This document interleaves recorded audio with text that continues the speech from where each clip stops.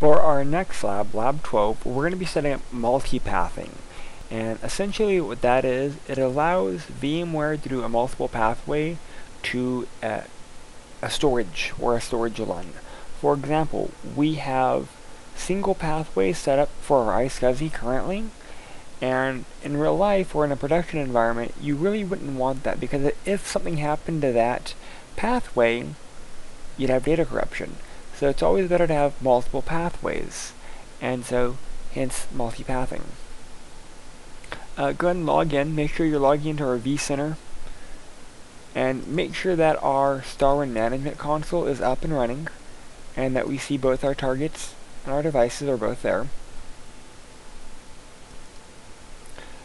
From here forward, we're just going to assume that this is always happening, because this has to happen. Uh, so remember that we're using a software iSCSI SAN, and so for in order for our ESXi hosts to connect to those LUNs, this has to be up and running. So from here forward, just assume that when we power on our lab environment, we're checking this just to make sure. Another area that we have to make sure to check is some of our services. From here forward, we're looking at two very specific services, and that is our Virtual Center service. Service. VMware.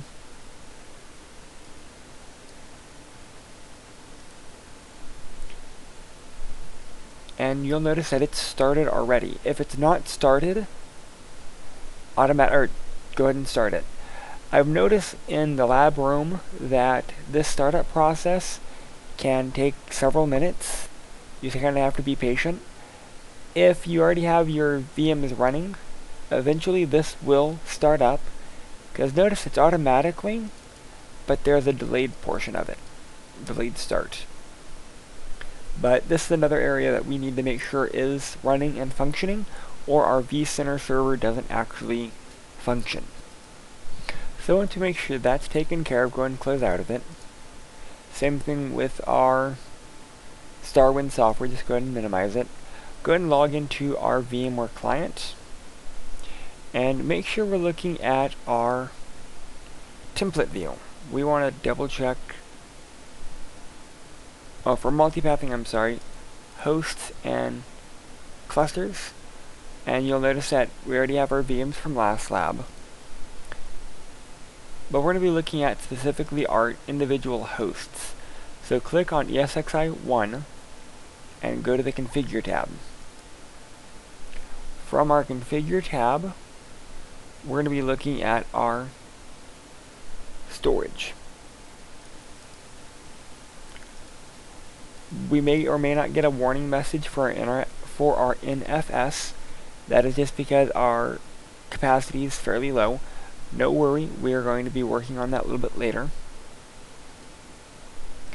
We're going to be setting up our iSCSI 1 at first, so select iSCSI 1 and go ahead and click on Properties.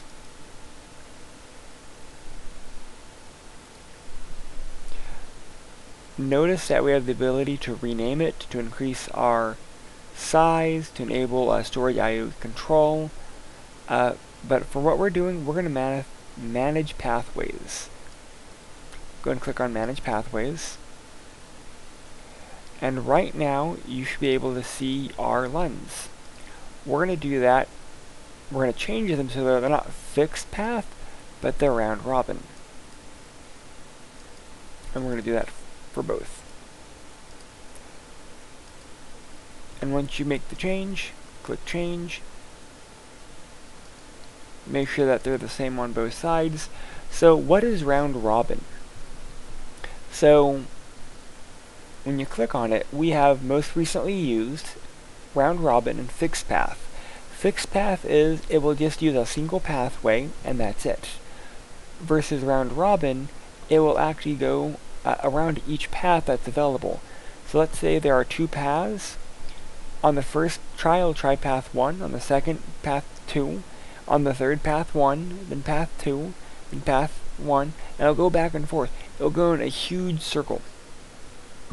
But it's a way to load balance between both pathways versus just having a fixed pathway.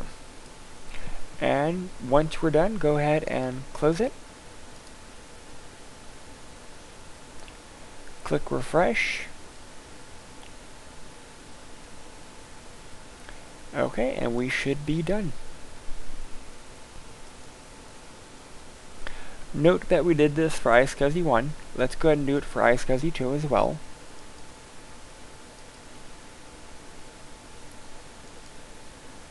Round robin. Change. They both should be round robin. Refresh it. Go ahead and close out of it. And that is all we had to do for multipathing. We're also assuming that again, that our environment actually does have multiple pathways, which in our current environment we do. We have two NICs, one for iSCSI 1, one for iSCSI 2. So we have pathways from our host to our SAN. Now that we did that on ESXi 1, let's do the same thing, but for our ESXi 2 host. So navigate to that host, configure, go to storage, select the appropriate iSCSI data store, properties, manage path. Again, we're changing them to round robin. Verify that they're both round robin. Close. Refresh. And do the same thing for iSCSI 1. Manage path round robin, change, verify it's the same on both, close, refresh, and we are done. We actually will have a later lab when we get into fault tolerance to show that this functions. Uh, I want to thank you and hope you have a good day.